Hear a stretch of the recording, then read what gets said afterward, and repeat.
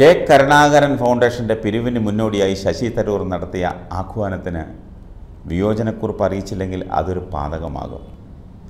ഒന്നാമത്തെ കാര്യം ഒരു പിരിവിന് വേണ്ടി വരുമ്പോൾ മാത്രം കെ കരുണാകരന്റെ പേര് ഓർമ്മിക്കുകയും ഉപയോഗിക്കുകയും ചെയ്യുന്ന കോൺഗ്രസ് സംസ്കാരം തരൂരിന് കൂടി യോജിച്ചതാണോ എന്ന് ഒരു ആത്മപരിശോധന നടത്തണം.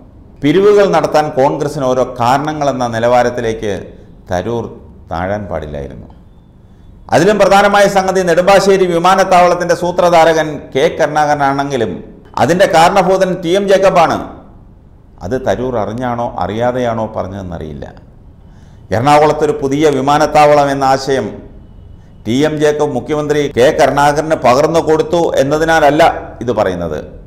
എറണാകുളത്തെ പുതിയ വിമാനത്താവളത്തെക്കുറിച്ച് പഠിക്കാൻ വന്ന കേന്ദ്ര സംഘം ആദ്യം സന്ദർശിച്ചത് എടക്കാട്ട് വയൽ പ്രദേശമായിരുന്നു ടി എം ജേക്കബിന്റെ മണ്ഡലമായ പിറവത്തിനടുത്ത് കിടക്കുന്നതുകൊണ്ട് ടി എം ജേക്കബിന് കൂടി പ്രത്യേക താല്പര്യമുള്ള സ്ഥലം എന്ന നിലയിലായിരുന്നു എടക്കാട്ട് വയൽ പരിശോധിക്കുവാൻ കാരണം.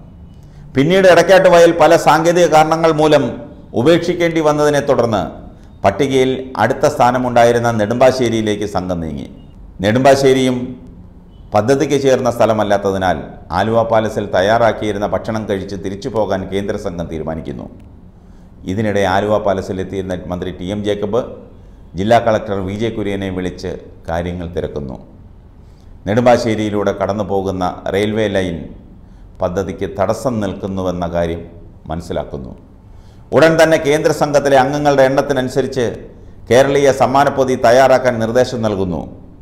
കുരുമുളക് ഏലം തുടങ്ങിയ സമ്മാനം നൽകിക്കൊണ്ട് ടി എം ജേക്കബ് കേന്ദ്ര സംഘത്തോട് നിജസ്ഥിതി അന്വേഷിക്കുന്നു. റെയിൽവേ ലൈനും എം സി റോഡിനുമിടയിൽ വിമാനത്താവളത്തിന് അനുയോജ്യമായ സ്ഥലം ലഭിക്കുമോ എന്ന് പരിശോധിക്കാനും അല്ല എങ്കിൽ കേരള സർക്കാരിന്റെ ചിലവിൽ റെയിൽവേ ലൈൻ മാറ്റി സ്ഥാപിച്ചാൽ പദ്ധതി നടപ്പാക്കാൻ സാധിക്കുമോ എന്നും പരിശോധിക്കുവാനും നിർദ്ദേശം നൽകി. തുടർന്ന് നടന്ന പരിശോധനയിലാണ് നെടുമ്പാശ്ശേരി തിരഞ്ഞെടുത്തതും യാഥാർത്ഥ്യമായതും. നഷ്ടപ്പെട്ടു പോകുമായിരുന്ന ഒരു പദ്ധതി ടി എം ജേക്കബിന്റെ സമയോചിതമായ ഇടപെടൽ കൊണ്ടാണ് അത് നടപ്പായത്. ഈ സാഹചര്യത്തിൽ കോൺഗ്രസ്സുകാർ പ്രത്യേകിച്ച് ശശി തരൂർ ഒന്നുകൂടി വിലയിരുത്തി പറയണം. കരുണാകരന്റെ പേരാണോ ടി എം ജേക്കബിന്റെ പേരാണോ വിമാനത്താവളത്തിന് നൽകേണ്ടതെന്ന്. കലൂർ സ്റ്റേഡിയം ഗോശ്രീ പാലം തുടങ്ങിയവയ്ക്കൊക്കെ നേതൃത്വം നൽകുകയും തുടക്കമിടുകയും ചെയ്ത കരുണാകരന്റെ ദീർഘവീക്ഷണം കാണാതെ അല്ല ഈ വിമർശനവും അഭിപ്രായവും പറഞ്ഞത്.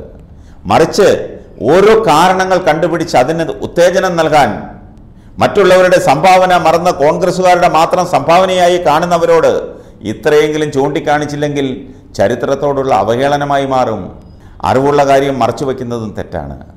ചരിത്രത്തോട് കാണിക്കുന്ന പൊറുക്കാനാവാത്ത തെറ്റ്. പറഞ്ഞു എന്നേയുള്ളൂ